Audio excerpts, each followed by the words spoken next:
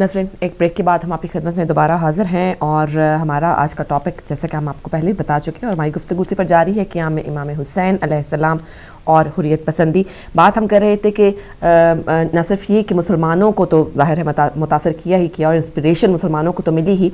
غیر مسلم ہر مذہب کے، ہر جو دور کے لوگ تھے، ان کو بھی امام حسین علیہ السلام سے بہت زیادہ انسپریشن ملی اور چارلس ڈکنسن کی جو ایک کوٹ ہے وہ آپ کی خدمت پیش کروں گی۔ انگلش میں ہے اس نے کہا کہ if Husain had fought to quench worldly desires then I do not understand why his sister wife and children accompanied him. It stands to reason therefore that he sacrificed purely for Islam. تو ایسی قربانی جو purely صرف اسلام کے لیے دی گئی ہو جو صرف اور صرف جس کا مقصد خدا تعالیٰ کی جو ہے وہ خوشنودی خوشنودی اور اسلام کو ظاہر ہے ایک بچانا، جو اس کا بیسیکلی مقصد تھا۔ اور آپ کو علی بھائی نے بھی بات کی تھامس کار لائل کے بارے میں، جو کہ بہت ہی بڑا مفکر اور ہسٹورین بھی تھا۔ اس کی بھی انگلش میں کوٹ ہے، وہ بھی آپ کی خدمت پیش کروں گی۔ اس نے کہا کہ Husain illustrated that the numerical superiority does not count when it comes to the truth and falsehood the victory of Husain despite his minority marvels me تو یہ وہ شخصیات تھیں جنہوں نے تاریخ میں ایک نام پیدا کیا، فلسفے میں ہسٹری میں ریسرچ میں، اور یہ یہ وہ، یہ یہ جو، ان کی میں بات کریں فلاسفرس کی یہ وہ لوگ تھے جن کو غیر مسلم جو ہیں ایک بہت بڑا ان کا مقام مانتے ہیں اور ان کا دین اسلام سے کوئی تعلق نہیں ہے، لیکن ان کو بھی مارول کیا، ان کو بھی انسپائر کیا، ان کو بھی جو وہ نہج جہاں تک شاید ہم مسلمان نہیں پہنچ پائے، وہ والی ہائٹس جہاں تک ہم سمجھنے کے لیے امام حسین کے قیام کو ہم نہیں پہنچ پائے، غیر مسلم پہنچ پہنچ گئے اور علی بھائی تھوڑی سی گفتگو کریں، اس کے بعد انشاءاللہ میں وہ روپ دیوی کمار دیوی روپ کمار۔ سوری دیوی روپ کمار کی جو غزل ہے وہ غزل سوری معافی چاہتی ہوں انہوں جو اشعار کہے سوری جی۔ ان کے بارے میں وہ بھی امام صلی اللہ علیہ وسلم کے بارے میں۔ مولا کے عشق میں ڈوب کے دیوی جی نے کلام لکھا۔ اچھا وہ کچھ دے کے لیے آپ سوچتے ہیں کہ شاید یہ ہندو نہیں ہے۔ ہاں۔ اور جب آپ ان کا اوپر سے وہ دیکھیں یہ امام حسین السلام کا معاملہ ہی ایسا ہے۔ اس اس سے جو اس معاملے میں امام کے ساتھ جو معاملہ کرتا ہے نا عشق کرتا ہے وہ اس منزل سے بالاتر ہو جاتا ہے مذاہب کی۔ وہ آ جاتا ہے فطرت کے اوپر۔ فطرت کے اوپر۔ جب فطرت پہ بات کرتا ہے تو این اسلام اور دیکھیں گے وہ برملا لگتا ہے کہ واقعی کچھ برملا ان کی بی جی کا نام لیا میں سنوں گا ضرور ہاں بالکل وہ میں نے رکھا ہوا ہے کہ ان کا کلام جو ہے وہ ایک کالر کو شامل کرتے ہیں۔ السلام علیکم ورحمۃ اللہ۔ وعلیکم السلام۔ موسی بھائی۔ جی نقوی صاحب۔ میں نے آپ کو اسلام و میرے امام جی۔ کا۔ ہماری طرف سے بھی پرسہ قبول کیجیے آج آپ کا ٹاپک ہے قیام امام حسین علیہ السلام اور حریت پسندی۔ جی۔ میرے بھائی جہاں تک تو امام حسین علیہ السلام کے قیام کا تعلق ہے یہ تو تربیت اس کا اس بنیاد پر اس اس طریقے سے کی گئی تھی۔ آپ کو یاد ہوگا کہ جب پاک رسول کا وہ جب سجدے میں تھے تو امام حسین کمر پہ آ کے بیٹھ گئے تھے تو سجدہ کو ستر دفعہ پہ لمبا کر دیا میرا ذہن اس وقت کہتا ہے کہ امام حسین علیہ السلام نے اس وقت یہ تو کہا ہوگا کہ اے نانا، آج آپ نے سر بھی جھکایا، میں کمر پہ بیٹھا تھا، آپ نے سجدہ لمبا کر دیا لیکن ایک بات ضرور کہوں گا کہ آج سر آپ نے خود رکھا اور خود ہی اٹھایا سجدے میں لیکن ایک وقت ایسا آئے گا کہ سر اس کے بدلے میں سر رکھوں گا میں لیکن اٹھائے گا کوئی اور آگے تو امام نے وہ شرط دکھائی کہ سر تو امام نے خود سجدے میں رکھا اور سر اٹھایا آ کے شمر نے تو میں یہ سمجھتا ہوں کہ یہ تربیت تو شروع سے ہی انہیں ملتی رہی اور شروع سے ہی اس لیے تیاری ہوتی رہی اور پھر یہاں تک تیاری ہو چکی کہ سواری کی جہاں تک بات آئی تو وہ بھی پاک رسول نے کندھے پہ اٹھا کے لوگوں کو دکھایا کہ لوگوں دیکھو یہ ہے حسین عید کے روز بھی دیکھا اور لوگوں کو دکھایا، لیکن اس وقت بھی لوگوں نے یہی کہا کہ سواری کیسی ہے۔ آپ نے کہا، سوار کو بھی دیکھو، سوار کیسا ہے۔ تو یہ اس وقت بھی امام حسین علیہ السلام کو کندھوں پہ بٹھا کے مدینہ کی گلیوں میں دکھاتے رہے اور لوگوں کو کہتے رہے کہ پہچانو حسین و منی، وانا من الحسین، حسین مجھ سے ہے، میں حسین سے ہوں۔ اب دیکھنا اس بات کا ہے کہ جہاں تک تو یہ آتی ہے بات کہ حسین مجھ سے ہے۔ یہ بات تو سمجھ میں آ گئی۔ میں حسین سے ہوں اس پہ آپ نے تھوڑی سی تشریح کرنی ہے کہ اس کا کیا مطلب ٹھیک ہے بہت شکریہ۔ ٹھیک اور دوسرے ایک منٹ دے دینا آپ تھوڑا سا۔ جی جی میں سمجھا اس کے بعد میں جلدی ختم کر دیتا ہوں مجھے یہ پتا ہوتا ہے۔ اور اس کی اس پہ آپ تھوڑی سی بات کر دیں کہ کیا رسول پاک نے یہ کیوں کہا اور کس لیے کہا اور کن کے سامنے کہا اور کون تھے وہ لوگ جن کو بتایا۔ آ, یہ چیز دیکھنی ہے۔ اس کے بعد آپ تھوڑا سا آگے اور جائیں تھوڑا سا اور آگے بڑھیں تو امام حسین علیہ السلام کا وہ یاد آتی ہے وہ باتیں۔ تو جب ہم یہ دیکھتے ہیں کہ گلی میں کھیل رہے تھے تو کسی نے آگے کہا تو اسے کہا جاؤ ہمارے غلام کے بیٹے۔ تو وہ بھاگا گیا اور کہا جا کے کہ والد گرامی ہم تو خلیفہ کے بیٹے ہیں انہوں نے امام حسین علیہ السلام کہہ دیا کہ غلام کے بیٹے ہو۔ تو وہ تحریر کو لکھوانے کے لیے بھیجا اور اس خواہش یہ تھی کہ تحریر مجھے مل جائے تو میں اپنے کفن میں رکھ کے ساتھ لے کے جاؤں۔ لیکن بدقسمتی یہ کہ تاریخ کی انہیں وہ تحریر نہ مل سکی۔ اور یہی چیزیں جب آپ آگے بڑھتے ہیں اور دیکھتے ہیں تو پھر ہمیں پتہ چلتا ہے کہ کیا میں امام حسین علیہ السلام کیوں تھا کس لیے تھا اور کیوں کیا گیا اور کن لوگوں کے لیے کیا گیا اور کن کو دکھانے کے لیے کیا گیا۔ یہ ساری چیزیں کیا ہمیں امام حسین علیہ السلام کی ہمیں نظر آ جاتی ہیں۔ اس کے بعد جب حریت پسندی کی بات آتی ہے تو میرے بھائی حریت پسندی کا اس وقت ہی پتہ چلتا ہے جب سامنے تلوار ہو بندوق ہو گولی ہو تو پتہ چلتا ہے کہ اس وقت آپ کا جذبہ کیا ہے۔ آپ میدان میں کھڑے ہوتے ہیں تو کس جذبے سے کھڑے ہوتے ہیں؟ نہ تو اوہد کے پہاڑ آپ کو نظر کوئی آپ کی نیت کو ہٹا سکتے ہیں قیام میں کھڑے ہوئے کو۔ نہ خندق کا میدان آپ کو بگا سکتا ہے۔ نہ خیبر دوڑا سکتا ہے، انتالیس چالیس دن، اور نہ بدر میں بھاگ سکتے ہیں۔ تو یہ ایک حریت پسندی اس وقت ہوتی ہے جب کسی ظالم کے سامنے ڈٹ جانا ہوتا ہے۔ اور جب ڈٹ جاؤ گے تو پھر حق کی بات پہ ڈٹ جاؤ گے تو پھر حریت پسندی آپ کے لیے سب سے بہترین چیز یہی ہے کہ آپ نے اس کا مقابلہ کیا، ظالم کے سامنے ڈٹ گئے اور ظالم کو بتا دیا کہ نہیں، تم جتنا مرضی ظالم ہو جاؤ لیکن جب تمہارے سامنے ہم کھڑے ہوں گے تو تمہارا ظلم ختم ہو جائے گا۔ ہماری مظلومیت ختم نہیں ہو سکتی اور قیامت تک یہ ثابت کر کے دکھا دیا اور اس طرح حریت پسندی کو دکھایا کہ قیامت تک ظالم کو لانت کا توق اس کے گلے میں ڈال دیا اور قیامت تک وہ لانتے لیتا ہوا دنیا سے بھی گیا اور قیامت تک لیتا رہے گا۔ حریت پسند ہونا تو اس طرح ہوتا ہے، قیام کرنا ہو تو اس طرح ہو۔ حق کی بات پہ ہو ظالم کے سامنے ہو اور ظالم کا مقابلہ کرنے کے لیے مظلومیت کو سامنے رکھتے ہوئے مظلوم کا ساتھ دیں گے تو حریت آپ کو آپ کے لیے بہترین ایک ہتھیار بھی بنے گا اور بہترین آپ کا مقصد بھی بنے گا۔ تھینک یو جی مہربانی شکریہ۔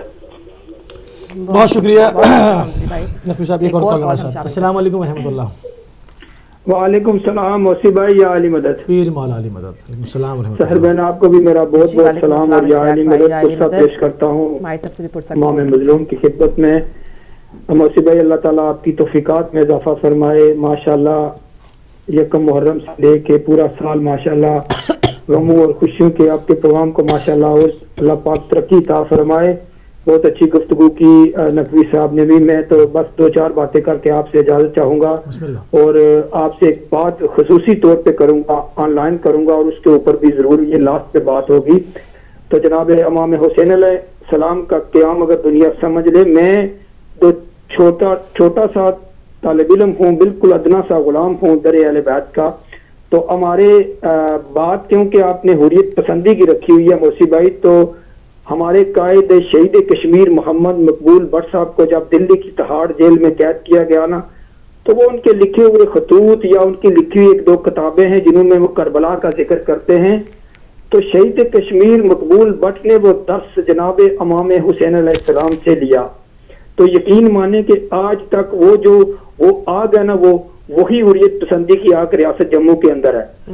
تو اس میں شیعہ ہونا کوئی شرط نہیں ہے سنی ہونا کوئی شرط نہیں ہے اسلام میں داخل ہونا کوئی شرط نہیں ہے۔ حریت پسند تو وہ ہے جو حسین کو پہچان لے کہ یہ میری ماں ہے یہ میری بہن ہے یہ میرا والد ہے اس سے میرا یہ رشتہ ہے۔ یہی حسینیت کا پیغام ہے۔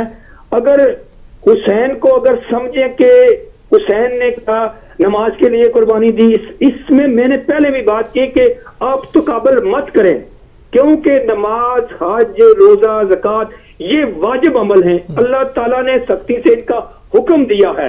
اگر حسین کے قیام کو سمجھنا ہے تو رشتوں کو سمجھنا ہے۔ یہ میری بہن ہے یہ میری ماں ہے۔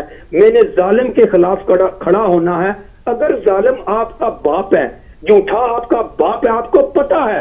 تو اگر آپ کھڑے ہو گے تو آپ حسینی ہیں۔ اگر آپ اس کے خلاف کھڑے نہیں ہوئے تو آپ حسینی نہیں ہیں۔ آپ کو حریت پسند نہیں کہا جائے گا۔ آپ کسی بھی ظالم کے خلاف پوری دنیا کے اندر جہاں بھی ظلم ہوتا ہے آپ کھڑے ہوگے تو آپ حریت پسند ہیں۔ تو آخری ایک بات موسی بھائی، اگر آپ کے پاس ٹائم ہو کسی بھی اگلے وقت میں یا جہاں بھی، تو سوشل میڈیا کے اوپر یہ جو گند پھیلایا جا رہا ہے ذاکرین کے خلاف یا علماء کرام کے خلاف، جتنے بھی یہ گروپ آتے ہیں، مختلف قسم کی حدیثیں بیان کرتے ہیں خدارا خدارا اس سے باز آ جاؤ، باز آ جاؤ۔ میں کہتا ہوں کہ کل روز میشر کیا علماء کرام اور کیا ذاکرین ان سب کو مولا کے سامنے پیش ہونا ہے اور کسی بھی چیز کو فارورڈ کرنے سے پہلے اپنی آنکھ سے، اپنے ہاتھ سے کتابوں کا مطالعہ کر کے اس کو فارورڈ کریں اور کوئی بھی ذاکرین کی طرف سے یا علماء طرف کوئی حدیث آتی ہے یا کوئی پروپرگنڈا آتا ہے، کیونکہ یہ پروپرگنڈا بہت برا ہے یہ چودہ سو سال پہلے بنو میاں نے جو کیا تھا نا موسی بھائی،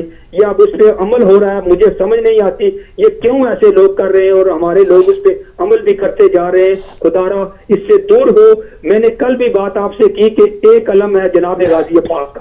مولا عباس کا علم ہے، اس کے نیچے آ جاؤ۔ آپ کو سب کچھ مل جائے؟ گا وہاں سے نماز بھی ملے گی وہاں سے حج بھی ملے گا وہاں سے ماتم بھی ملے گا سب کچھ مل جائے گا لیکن آپ اس ایک مٹھی میں آ جان لبیک کا یا حسین کیونکہ ہمارے۔ رونے کے دن ہمارے جگڑنے کے دن نہیں ہے۔ بالکل، بالکل، میں- میں اسی پہ- میں۔ اسی پہ بات کر رہا تھا کہ- جی ہاں۔ خدا حافظ یا علی مدد پیر مولا نہیں مدد میں اسی بھی بات کر رہا تھا کہ دشمن چاہتا ہے کہ آپ ٹکڑیوں میں بٹیں اور دستوں گربا ہوں ہمارا کام نہیں ہے یہ ایک اور کال کو شامل کریں گے السلام علیکم ورحمۃ اللہ السلام علیکم ورحمۃ اللہ جی وعلیکم السلام علی بھائی سار میں خصوصاً چیز جی مقصود بھائی پر جی، مقصود۔ ابھی اشتیاق بھائی بات کر رہے تھے آپ ان کا درد سمجھ سکتے ہیں وہ سچے کشمیری معجزہ وزن ہے مقبول بٹ سے بات کر رہے تھے مقبول بٹ نے کوئی غلط کام نہیں کیا تھا انہوں نے ایک آزادی کی تاریخ میں حصہ لیا تھا طریقہ کار مختلف ہو سکتا ہے لیکن وہ اس سلسلے میں حریت پسند تھے اور بالکل مولا حسین علیہ صاحب اسلام کے قیام کا مطلب یہی ہو رہی ہے، دیتی ہے سب ہم کو شہادت حسین کی۔ آزادی حیات کا یہ سرمدی اصول۔ چڑھ جائے کٹ کے سر تیرا نیزے کی نوک پر، لیکن یزیدیوں کی عطایت نہ کر قبول۔ کشمیر میں جو مظالم ہو رہے ہیں، وہاں اپنی آزادی سے وہ جی نہیں سکتے۔ ان پر غاسبانہ قبضہ ہے، بھارت کا تو مقبول بٹ شہید کے متعلق بات کر رہے تھے اشتیاق بٹ میرا یقین ہے کہ وہ بات کرتے جذباتی ہو جاتے ہیں۔ سچے انسان کی یہی خوبی ہے۔ میں شاید آپ کے ٹاپک کے متعلق، چونکہ میرے- دو دو تین منٹ میں نے لے لیے ہیں، میں اجازت چاہوں گا، کوئی اور کالر آ جائے گا تو دعا میں یاد رکھیے۔ جزاک اللہ بہت شکریہ بہت شکریہ۔ بہت تھوڑی سی بات کر لیں جو کہ ابھی گفتگو ہوئی اس میں اور موضوع سے بھی جو ہے وہ ہم آہنگ ہے کہ ہمیں سب سے پہلے ایک چیز کو سمجھنا پڑے گا کہ ہم کہتے ہیں جیسے ہم دعا بھی دیتے ہیں ہم کہتے ہیں کہ خدا کوئی غم نہ دے آپ کو سوائے غم حسین کے۔ تو غم حسین کیا ہے؟ ایک تو ہمیں ہے نا کہ امام کے ساتھ بے رحمانہ سلوک کیا گیا ان کا اسٹیٹس ان کا کلیپر جو ہے وہ کیلبری اس چیز کی اجازت نہیں دیتا تھا کہ ان کو حق سے ہٹ کے کچھ مانا جائے۔ کچھ پکارا جائے۔ اور ان کے حد حد یہ ہو گئی کہ ان کو بھوکا پیسہ شہید کر کے ان کے لاش پہ گھوڑے دوڑا دیا۔ ہم ہم دعا دیتے ہیں کہ خدا کوئی غم نہ دے سوائے غم حسین کے۔ اب غم حسین کیا ہے؟ ہم تو اس چیز کو غم سمجھتے ہیں۔ وہ کون سا غم تھا جو امام حسین کو تھا؟ غم حسین کیا تھا؟ جس غم نے امام کو مدینے میں نہیں بیٹھنے دیا۔ بہت بہت اچھا پوائنٹ بالکل۔ ٹھیک ہے نا؟ اگر ہم نے اس غم کو درک کر لیا اس حریت پسندی کو اس انقلاب کو اس قیام کو تو پھر ہم جب دعا دیں گے نا کسی کو کہ آپ کو کوئی غم نہ دے سوائے غم حسین کے تو ہم یعنی ایک اللہ کی راہ میں ایک مجاہد بنا رہے ہیں۔ اللہ کی راہ میں ایک حریت پسند بنا رہے ہیں۔ ہم ایک مومن تربیت کر رہے ہیں۔ خالی ہم یہ کہیں کہ جی آپ صرف اور صرف رسوماتی شیعہ بن جائیں جب محرم آئیں تو مجلس کریں اور اس کے بعد بھول جائیں کون سے دو شہدا تو یہ غم حسین ہم نہ دعا دے رہے ہیں اور نہ یہ دعا ہے۔ جب ہم کہتے ہیں کہ پروردگار کوئی غم نہ دے سوائے غم حسین کے تو اس غم کو سمجھنے کی ضرورت ہے جس غم نے حسین ابن علی کو مدینہ چھڑایا۔ بہت خوب بہت خوب۔ امام حسین السلام پر سب سے زیادہ کٹھن وقت وہ تھا جب وہ اپنی مادر گرامی کی قبر سے اور رسول اللہ کی قبر سے جدا ہو رہے تھے۔ کیا غم تھا جس نے یہ دو مرکز چھڑا دیے؟ اس غم کو درک کرنا پڑے گا۔ وہ غم تھا اسلام نہ ڈوب جائے کہیں۔ اسلام پہ عموی رنگ غالب نہ آ جائے کہیں۔ اسلام پہ جو میرے نانا کے قلب اتھر پر نازل ہوا، وہ اسلام گم نہ ہو جائے کہیں۔ مجھے قیام کرنا ہے۔ چاہے مادر گرامی کی قبر مجھ سے چھوٹتی ہے یا نانا کا مزار مجھ سے چھوٹتا ہے۔ چاہے میں اپنے محلے بنی ہاشم سے جاتا ہوں، کربلا کے صحرا میں مجھے دفن ہونا پڑے۔ ہو، مگر اسلام کو بیمہ کر دوں، قیامت تک کے لیے محفوظ کر دوں۔ وہ غم۔